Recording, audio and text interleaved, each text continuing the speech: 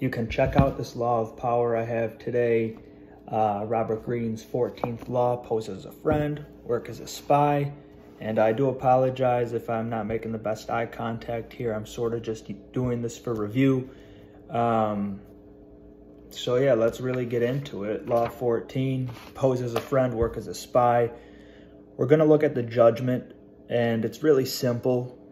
Artful spying requires using indirect questions to reveal weaknesses and intentions.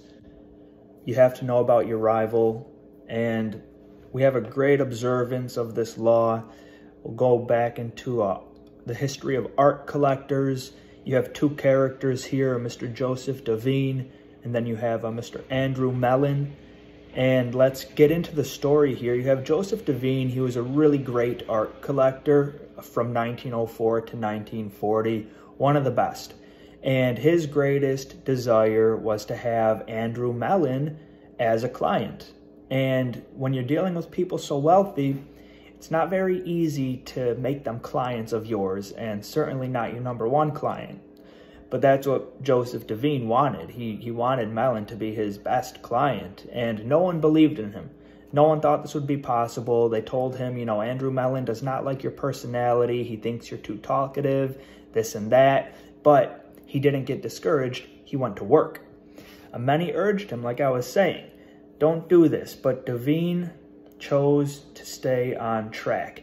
He began studying Mellon, his habits, his tastes, his phobias even. He, he got to know him better than his own wife knew him.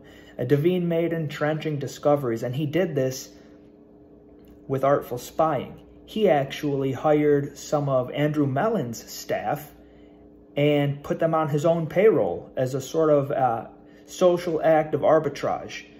Devine booked at one point the same hotel in, I think it was London, with as Andrew Mellon, and they both had valets.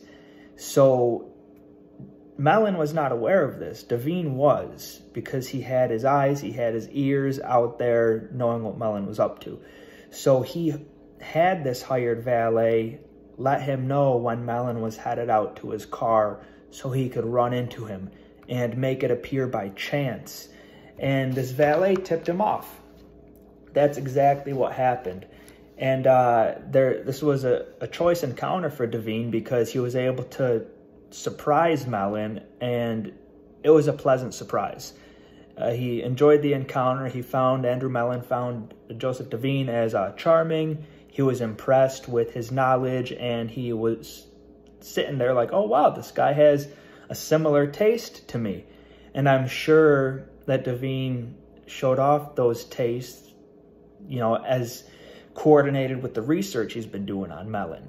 So later on, after they had their encounter in London, hit it off, Mellon went and visited Joseph Devine's gallery. Now remember, Devine wants Mellon to be his client, not necessarily a friend. So he, he was posing as a friend, working as a spy.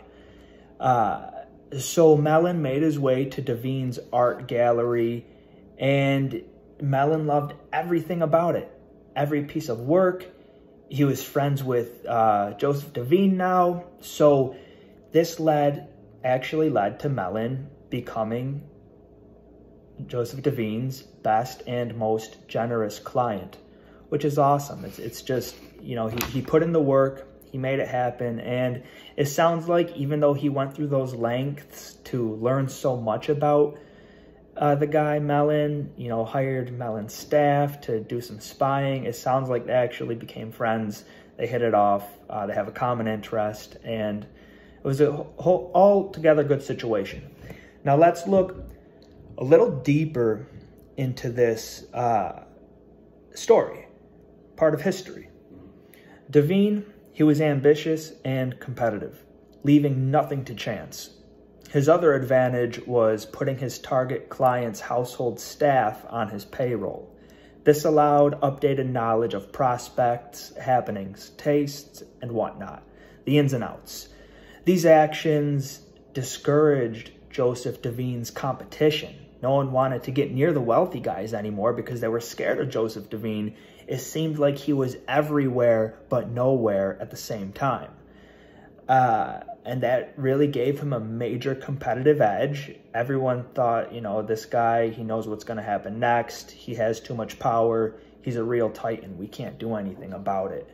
And going that extra mile for Devine, it made him. Um, I'm sure it's dangerous employing spies. Seems like it could be a make or break thing, but let's look into some of the actual uh, keys to power in Robert Greene's Law 14 pose as a friend, work as a spy. Keys to power are pretty simple. Employ spies. It's a powerful tactic, but it's also risky. The spies can turn on you, and we'll get into that in a moment. You're better off posing as a friend, but one thing you have to do is suppress yourself in conversation and just let others talk. It's that simple. You have to keep it simple. Gather information and use your personality when you see fit. We'll go back, uh, legendary Talleyrand. He's a historical conversationalist, yet he did little talking. He didn't talk about his own ideas, but he would let other people talk about theirs.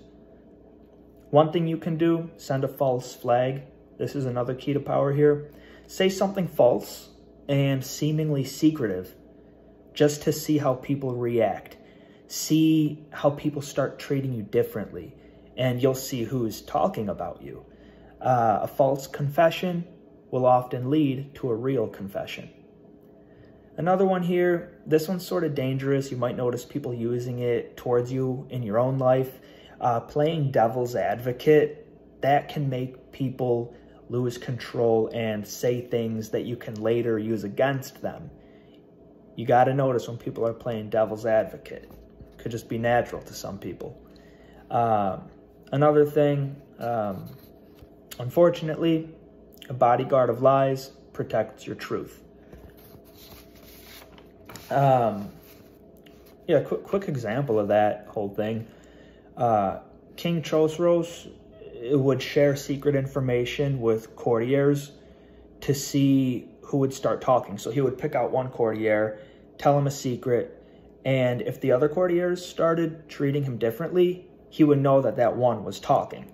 Um, if they didn't start treating him differently, then he would know that the one he told the secret to was someone that can be trusted. And that's really how you snuff out traitors.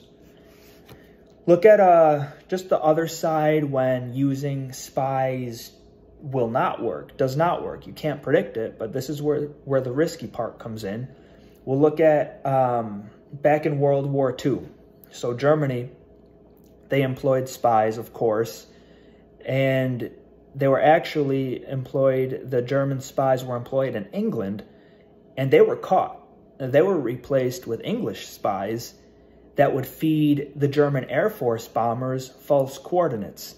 And this worked amazingly for England because all of the German airstrikes failed. These German uh, warmongers, they were like, you know, we got the coordinates. They sent all their um, airstrikers to just pretty much rural areas where no one could get hurt.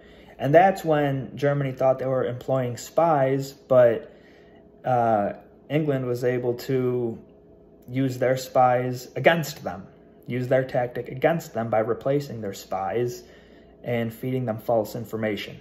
And that's when the use of spies can be dangerous. So if you're hiring a spy, make sure that they're not firing you. um, yeah, that, it's pretty simple. That's Law 14 of Robert Greene's 48 Laws of Power. Pose as a friend, work as a spy.